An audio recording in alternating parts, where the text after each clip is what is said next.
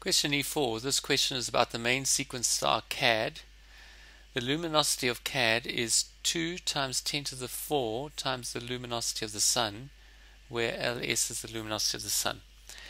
Assuming the exponent n in the mass luminosity relation is 3.5, show that the mass of CAD is about 17 solar masses. So this is your luminosity mass equation. So you've got the luminosity is proportional to the mass and it's going to be 3.5. Now we want to show that this is so many solar masses so that we've got the luminosity of CAD over the luminosity of the sun that's going to be about um, 2 times 10 to the 4 luminosity of the sun over luminosity of the sun now I'm going to put an equal sign here because when we divide proportionalities like this, any proportionality constant will cancel out. So I can go straight in and just write this over here. So we're going to get the mass of uh, CAD over the mass of the sun in that relationship is equal to, and that's all to the power 3.5.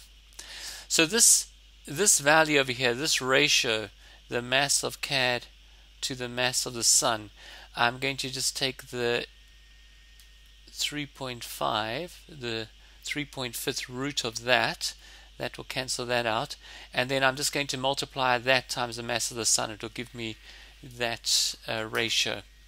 So we take um, our calculators.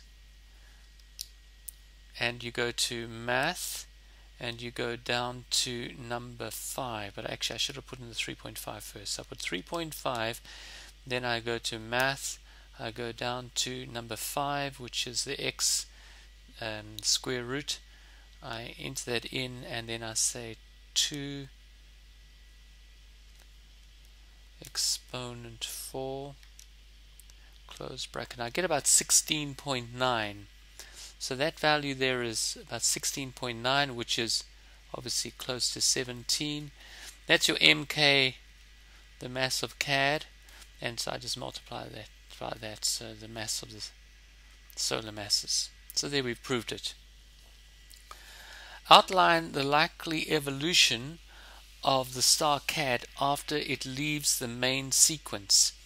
Well, it would probably what will happen is that it will probably go into a super red giant.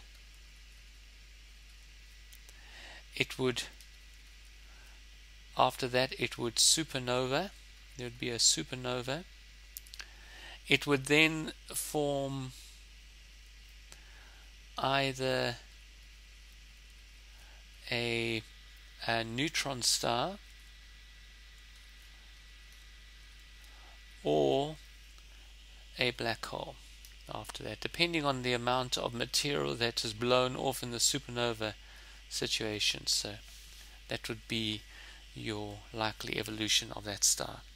So it would leave from the from the main sequence, go into supernova, uh, super red giant, supernova. Then after that, it will collapse. Maybe just add that in. It will collapse under the influence of gravity and form either a neutron star or a black hole.